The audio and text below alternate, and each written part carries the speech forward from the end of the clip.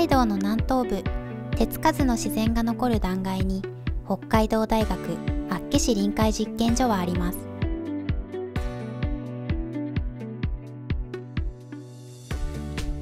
1931年に建てられた本館。目の前が海なのでいつでも調査に出かけられます。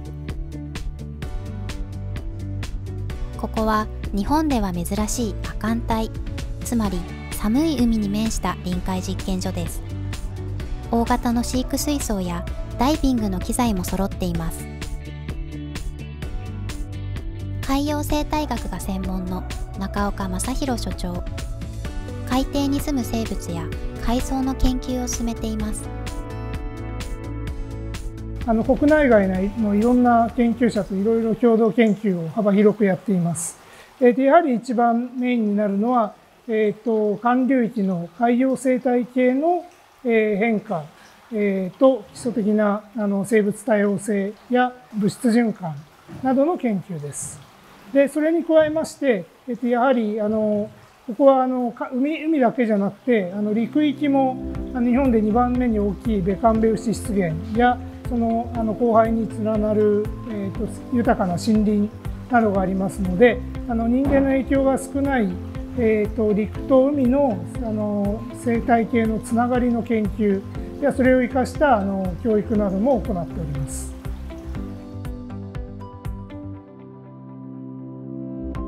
中岡先生たちが特に力を入れて研究しているのが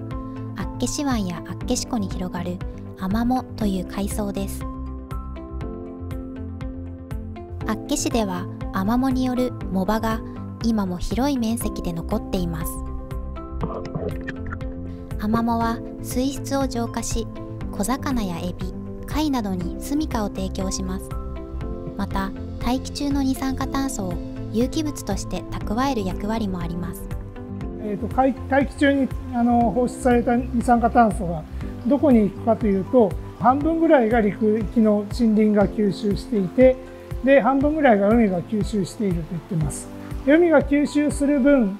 を増やすことによってあの気候変動の、まあ、とにかく地球温暖化の上昇を抑えようと。で、えー、と海があの吸収する二酸化炭素、まあ、炭素の分をブルーカーボンと呼んでいます。ブルーカーボンは温暖化対策の新しい選択肢です。海は人間活動による二酸化炭素のおよそ4分の1を吸収すると言われています。アマモ調査の様子です。20センチ四方の区画からアマモを取ることでその生育密度を予測できます。アマモは光合成によって有機物を合成します。実験室に持ち帰りアマモの光合成速度を調べることで生育状態がわかるのです。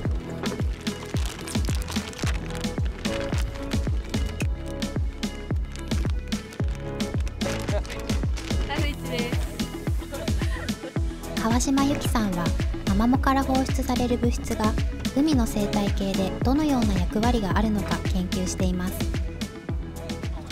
アマモから出るその透明なネバネバした物質でそれがこう周りの有機物を吸収して海底に沈殿していくものでそれがブルーカーボンに寄与しているんじゃないか。海に固定される炭素がこう環境問題において重要なんですけどそれに寄与しているんじゃないかっていうことで私はそれを研究しています。潜ってアマモ場でアマモ取るのは楽しいんですけど先輩方だとか先生とか手伝ってもらいながらこう連携取ってやっています。研究フィールドは海だけではありません。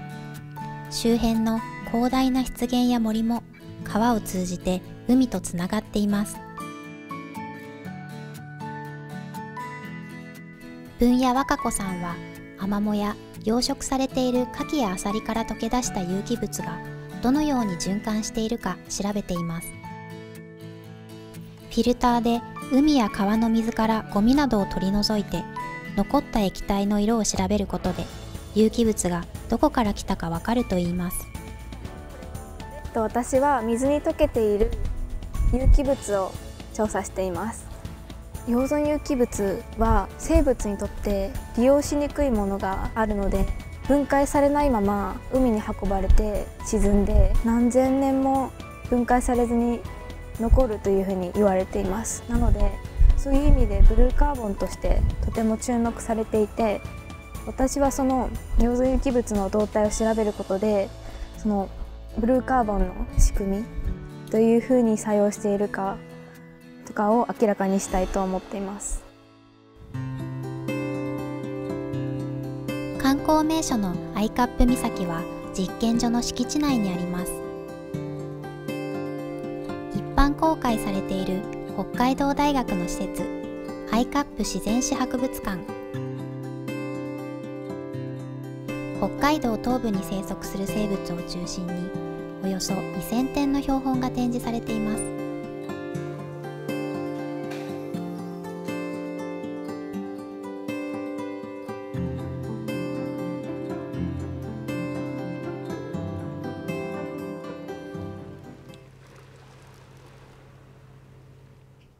これドローンで撮影した他の厚岸臨海実験所ではドローンや衛星を使って空や宇宙からの観測にも力を入れています。こんな感じですね。北海道大学の調査実習船ミサゴ丸による観測の様子です。ウィリー・アングライニさんは親潮駅の植物プランクトンの光合成量に海水温の上昇がどのような影響を与えるのか調べています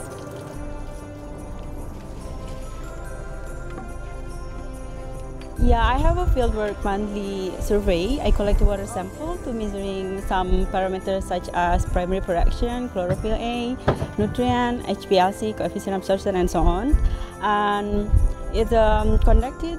to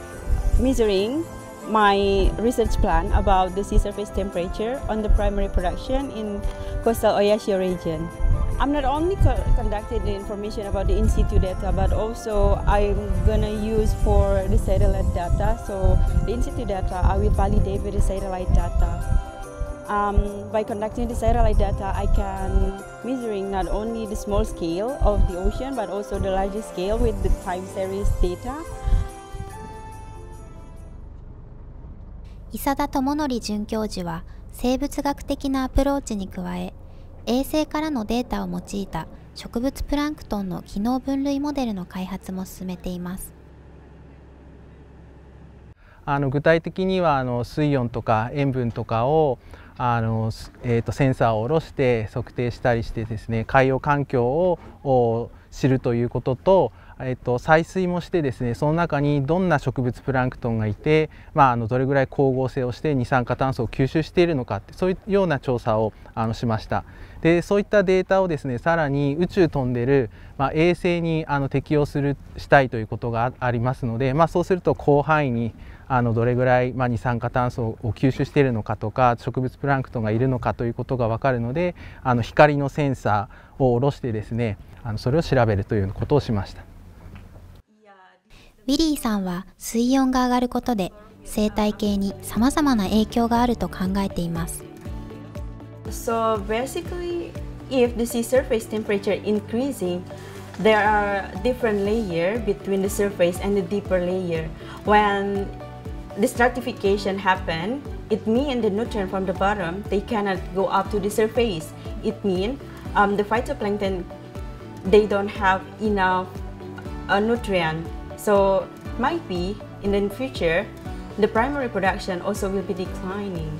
For the food chain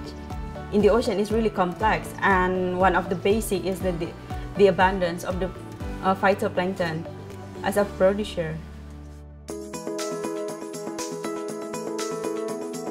海を通して見えるさまざまな地球規模の変化